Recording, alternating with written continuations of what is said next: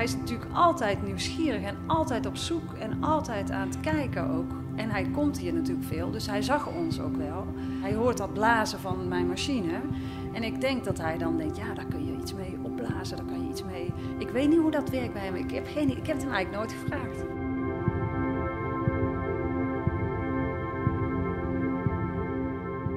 Als je tuft, dan voer je door een handpistool, lijkt een beetje op een boormachine, heeft een kop en een transporteur en een holle naald. En door die uh, transporteur en die holle naald, daar voer je in mijn geval meestal wol, in Jan's geval chiffon. Daar komt ergens een luchtpunt bij en dan blaast dat luchtpunt steeds een stukje materiaal in het stramien.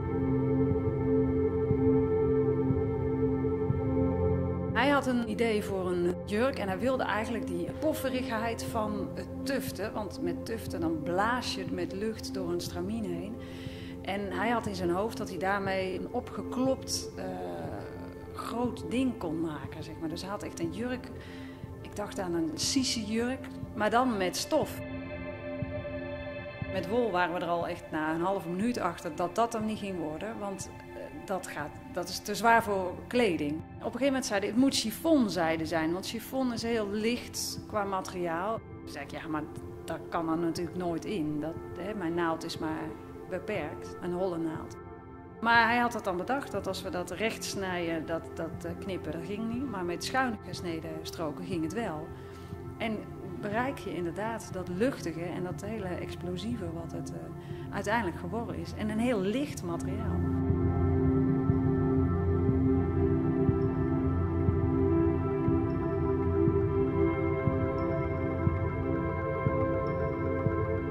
Is heel kritisch altijd op kleur ook. Hè? En ons basisondermateriaal is gewoon grijs polyesterstramien. Nou, volgens mij gruwelt Jan daarvan. Wat hij wel heel mooi vindt, is het, de backing die wij gebruiken, is namelijk jute. Maar jute is helemaal niet sterk. Daar kan ik niet op werken. Daarom gebruik ik het als, als ik het aan het eind eh, een tapijt verlijm. Hij wilde per se op dat jute werken. En ik zei, ja, maar Jan, daar kan ik niet op tuften. Dat gaat, dat gaat kapot. Dat kan ik niet spannen. Dat, uh... Zei ja, maar als we het nou op het stramien borduren.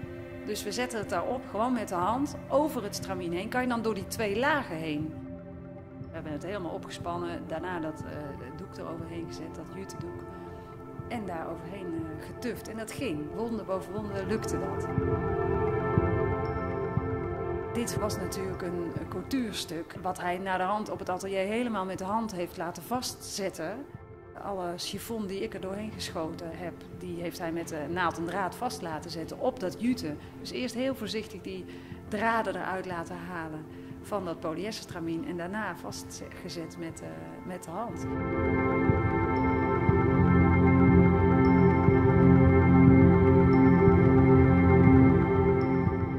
Ja, hij is heel betrokken, hè? Heel betrokken bij het proces. Hij heeft echt vijf dagen naast mij gestaan. Vijf dagen met mij. Uh, het aangegaan en uh, gekeken van, nou, hier moet nog dit, daar moet dat. Bijna, ik was bijna zijn handen, hè? Zo, dus het schilderen van het, uh, van het uh, ontwerp op het, op het stramien.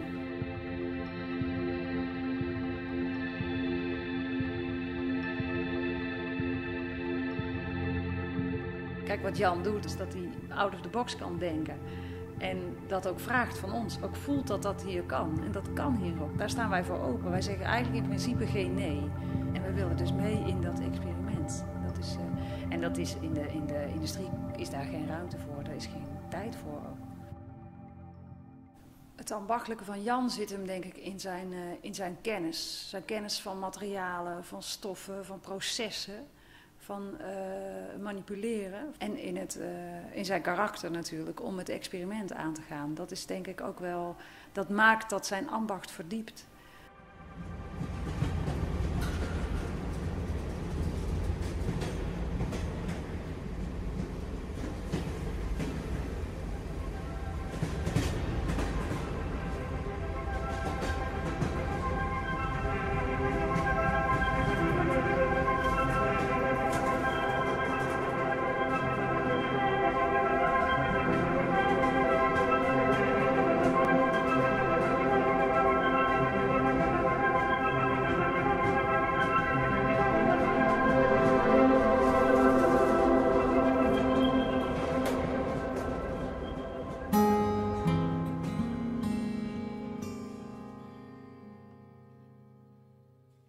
Typisch is aan Jan, of wat Jan specifiek maakt, is dat hij ehm, niet echt de pret-à-porter, maar echt de cultuur aangaat. Ik denk dat je hem in Nederland als een van de, van de weinigen, misschien samen met Iris van Erpen, als echte couturieus kunt zien. Heel veel uh, met de hand, uh, heel veel handwerk van, uh, vanuit een ambacht. Um, maakt hij unieke stukken. Bassement is de algemene benaming eigenlijk voor textiele materialen die men gebruikte voor afwerking, meestal in interieur, maar tegenwoordig ook wel meer en meer in mode wordt gebruikt. En bestaat eigenlijk voornamelijk uit bandweven en het maakte van allerlei soorten uh, koorden en kwastjes.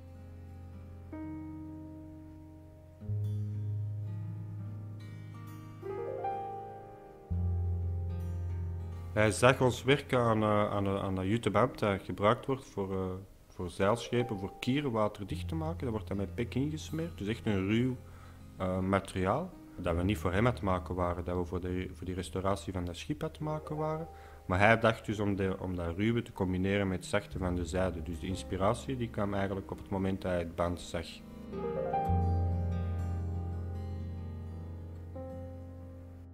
We hebben dus de, de jutteketting hebben we gehouden, hè, het ruwe natuurlijke materiaal. Jan die heeft eigenlijk een, een zijde lichte stof genomen, daar stroken van gescheurd. En die hebben we als inslagdraden uh, geweven, met aan de zijkant hebben we daar uh, ja, aan gehouden eigenlijk, aan de twee kanten. Waardoor dat je een heel licht speels uh, buitenkant krijgt met midden een ruwe jute kern. Het uh, band dat Jan heeft gemaakt moest volledig met de hand gemaakt worden omdat de zijdenstroken die we als inslag gebruiken, die kunnen we niet op een spoel wikkelen en kan dus niet uh, mechanisch geweven worden. Ja, het was inderdaad toevallig dat wij net op dat moment, uh, als dat Jan in het museum was, met die jute bezig waren, want voor hetzelfde geld waren wij net bij de andere opdracht bezig. En dan is het natuurlijk de, de inspiratie van de ontwerper om daar iets nieuws mee te gaan maken en dat is wat Jan op dat moment gedaan heeft.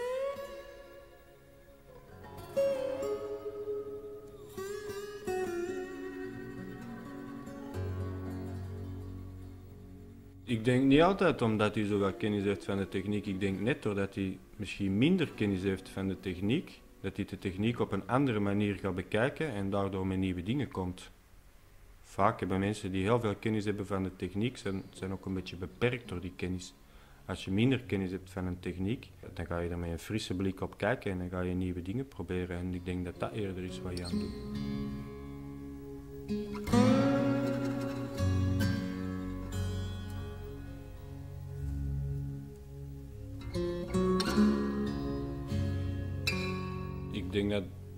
Jan het museum eigenlijk gebruikt als, als zijn een, uh, hoe zal ik het noemen? Een speeltuin is misschien een beetje te veel gezegd, maar, maar als een plek waar je wel um, kan gaan experimenteren. Meestal gaan modeontwerpers naar Première Vision, die kiezen stoffen uit en die gaan daarmee aan de slag. Maar het geeft een collectie iets uniek als je ook zelf de stoffen hebt ontworpen natuurlijk. En kan je echt van van, van, van in het begin uw idee omzetten. Alles kan uw idee dragen als het ware.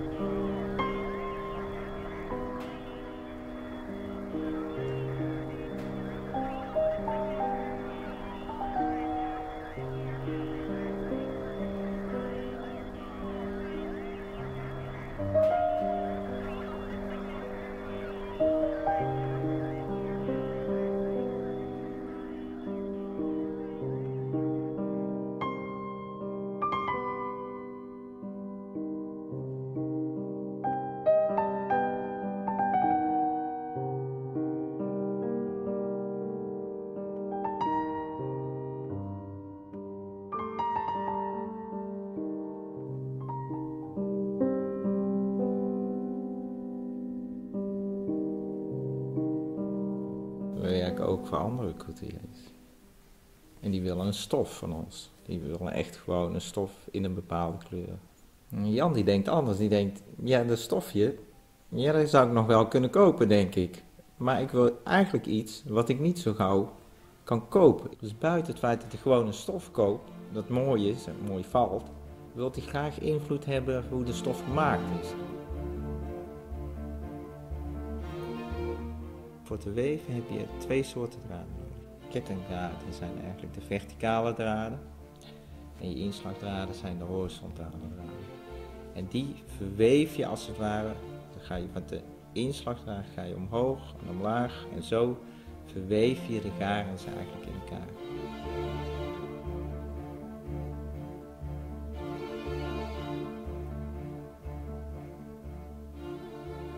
Hij weet wat de machines kan en daar probeert hij op in te spelen ook.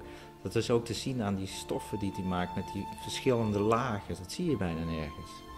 Twee lagen is interessant, maar uh, betekent dat je ook vier lagen kan maken. En zes lagen. En uh, als ik nou een jurk zou tekenen, als ik zeg waar die aan elkaar moet zitten, waar die in elkaar gestikt wordt, zou je dat ook kunnen weven, dat in elkaar stikken. En zo zijn we telkens stapje voor stapje verder gegaan.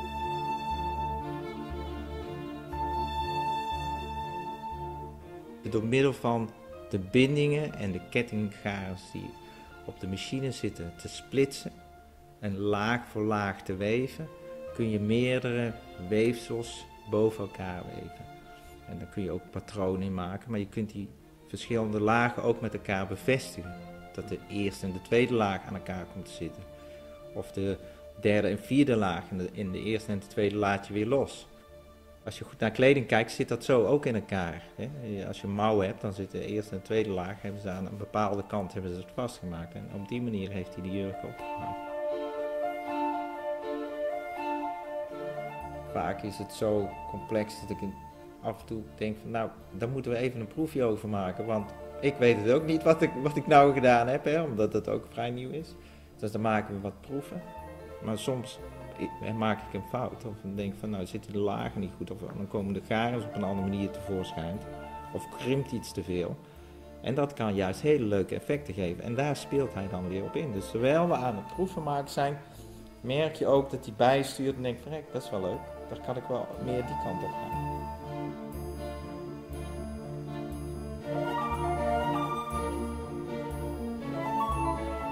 Spreek veel mensen uit het bedrijfsleven. Dan moet ik zeggen, die zijn heel goed in hun vak. Maar die zijn echt gefocust in, in, in het product wat ze maken. En die durven niet gauw links of naar rechts te gaan. Ik denk dat het leuke van mijn vak is dat ik juist iets over die grens van links en rechts ga regelmatig.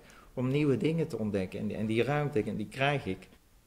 Wij mogen de fouten maken. En wij leren van al die fouten die we, die we maken onderweg zien we dingen gebeuren die juist heel, eh, heel inspirerend zijn.